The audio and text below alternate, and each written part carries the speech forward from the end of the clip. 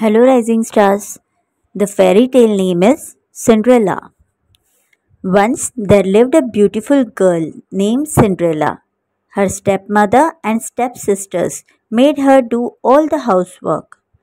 One day, the king announced a hall to select a wife for the prince. All the girls of the kingdom were invited to the ball.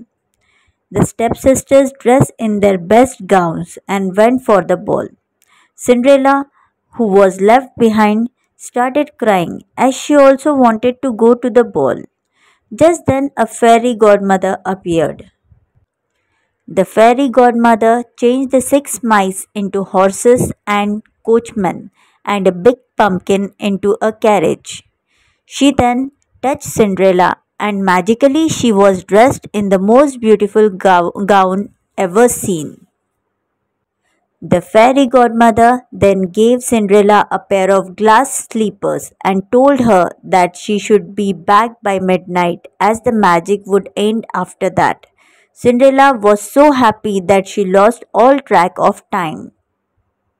Just as the clock struck twelve, Cinderella remembered the fairy godmother words. She started running to the to her carriage, but in her hurry she left one of the glass sleepers in the palace.